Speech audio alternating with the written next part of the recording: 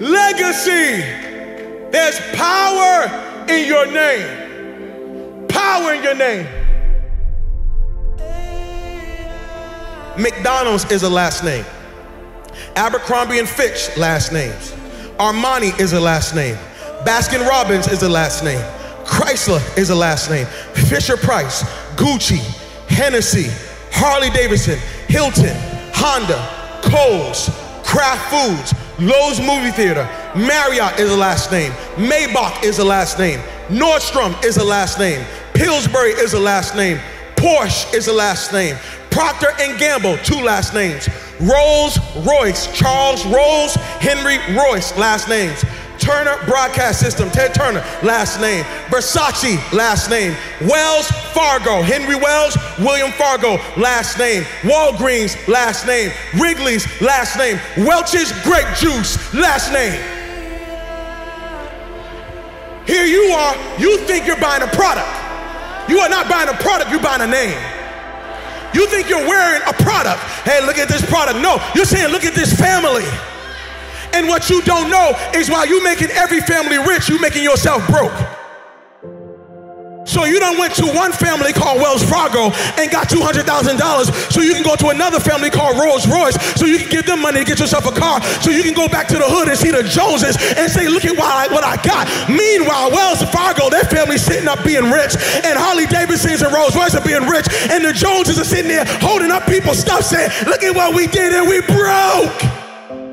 What if I told you that your blessing is attached to your name? That part of the reason why you're not wealthy yet is because you keep trying to make Yolanda wealthy. You keep trying to make Tasha wealthy. What if you made Johnson's wealthy? What if you started thinking about your kids? What if you started thinking about your legacy? What if God started dropping Canaan and opening up windows of heaven? Because now you're not just thinking about you, you're thinking kingdom. Are some people who are attached to you who saying, Mama, can you do something with this name? There, there, there's some people who are saying, Dad, can you do something with this name? Maybe God gave you the name to change and reverse some of the stuff that the name meant one day. I wish there was somebody in this room that say my name might mean one thing right now, but I promise after today, this name's getting ready to change. I promise after today, everybody's gonna want my last name. I'm here to let you know you are a curse breaker. You're thinking kingdom. You are not just getting married, you're breaking a curse. You are not just graduating from college, you're breaking a curse. You are not just getting out of high school, you're breaking a curse. You are not just saved, you're breaking a curse. And everybody around you is about to be blessed because of what God's getting ready to do in your life.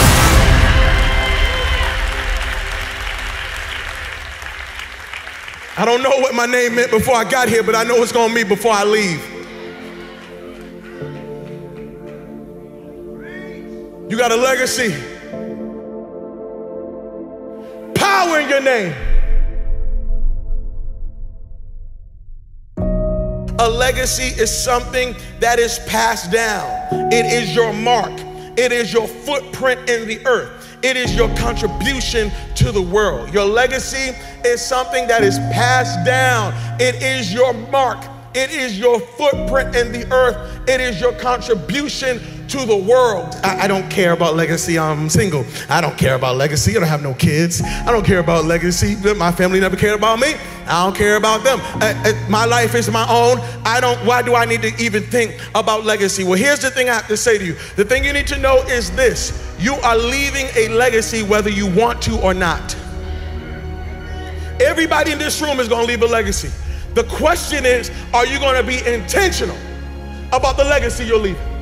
Are you actually going to be intentional or are you just going to let anything be passed down, anything be given to others on your behalf? Don't let it be so. It's like this weekend, this past weekend, I went out to go preach. And when I went to go preach, I went into a city and I rented a car. And I rented a car. When I went to the uh, rental car, they said, go, down, go downstairs in the garage, you can grab any car. When I went down there, there were only two cars. There was one car that looked like it wouldn't make it past Monday. And then there was another car. So I went to this car. But when I got into the car, the car smelled like cigarette smoke. And, and so I, I took off with the car because, you know, I'm just like, hey, you know, let me get out of here. And so I'm driving the car for a couple of days. When I bring the car back, drop off the keys, they say, hey, you have any problems with the car? I said, no problems with the car. They said, all right, cool. I leave, and uh, they said, they, I, I looked on my email, and they billed me $350. How you gonna charge me I've never smoked a day in my life. They said, sir, you brought the car back smelling like cigarettes. I said, no, I didn't bring the car back smelling like cigarettes. Y'all brought me a car that smelled like cigarettes. They said, no, all we know is that you brought us a car with cigarettes, so you have to pay the price. Can I tell you something? That is a picture of many of our lives. Some of us lived a life that stunk so bad and many of you are paying a price for a life that you didn't live, but somebody lived before you, and they handed you down a name or a life that stunk so bad that now you got to pay forever for it. And I'm here to let you know stop giving people this dirty, nasty, stinky life. Why don't you build a legacy so when somebody get into the car of your life, they want to say thank you instead of, I can't believe what you did to me. Everybody here has struggled with an addiction that's not yours. It was an addiction that your family didn't deal with. It was an addiction that your father just overlooked. And so it got passed down to you. And now you're struggling with this addiction. But truthfully, if you track the addiction, your father had it, and your grandfather had it, and your great grandmother had it, and your whole family had it. And because they didn't deal with it, because they weren't thinking legacy, now you're driving in a car that you got to pay for. And God is saying, the buck stops here, that, that this is it. I earth because you're about to stop some stuff.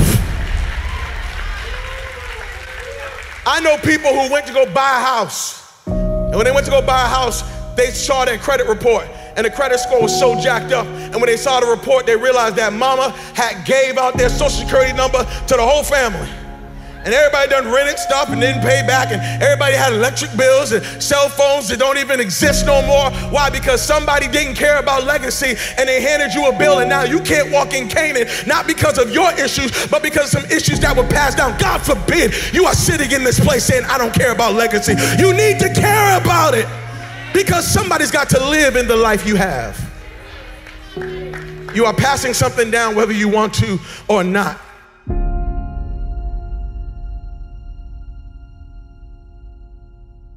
Why are you the only one who knows how to make that apple pie everybody love? Why, why are you the only one who know how? So you mean to tell me can't nobody else make that sweet potato pie recipe but you? So, so you're gonna just die and you're not gonna tell nobody what the secret was. Even Colonel Sanders left his secret. Now, come on now. Even Colonel Sanders said, Y'all make some good chicken, but when I'm gone, y'all gonna keep making it. What I'm saying to you is, why is it that you're the only one? So you own all this real estate and you didn't share that with nobody. You're not gonna tell nobody how to do that. You're the only successful marriage in your family. You're not gonna tell nobody. You're gonna, you're gonna, you're gonna hoard this information so you could be the only one who wins. You have lost. You have lost. You have lost. And I'm telling you that you are gonna have to look at your life and recognize that everything you are doing right now is having major and great impact. If you're gonna leave a legacy, you're gonna have to remember how you started, but focus on how you finish. I don't want you to forget how you started. I don't want you to forget that father wasn't there. I don't want you to forget some of the conditions that you were raised in. I don't want you to forget some of the rejection, some of the pain. No, I absolutely, I want you to remember how you started, but do not for one second let it dictate how you're gonna finish. There's somebody in this room saying, Pastor, I don't understand. I, I hear you, but but this sermon got me all messed up. I came, I, I was feeling good and then you done preach this sermon, and now I'm thinking about the 60 years of my life I've wasted. I'm thinking about the 60 years of hurt I caused. I'm thinking about the 60 years of stuff I did. I got some college student who's sitting here saying, Pastor, I wish I heard this word in my junior year in high school. I wish I heard this word in my sophomore year in high school because I did some stuff as a sophomore that I'm still paying for now. I did some stuff as a senior that I'm still paying for now. Can I tell you something? Your yesterday may have been jacked up, but God knows how to take the old and make it new. I came to preach preach to somebody today and let you know your first 60 years was jacked up, but your next 60 days, God says, I will turn it into such impact. I will give it such greatness that you won't even remember some of the stuff that you jacked up.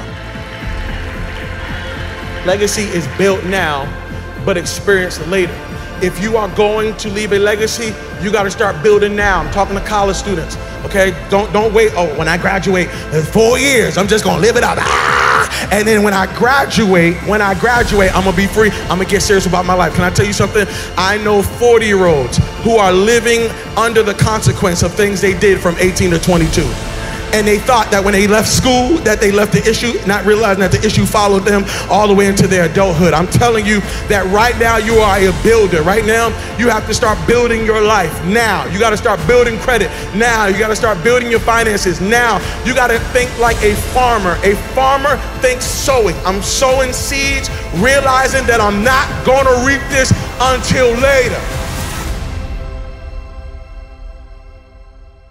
Your last name is bigger than your first name. I don't care how you got your name, but you need to be living for your last name. Your first name is about you, but your last name is about us.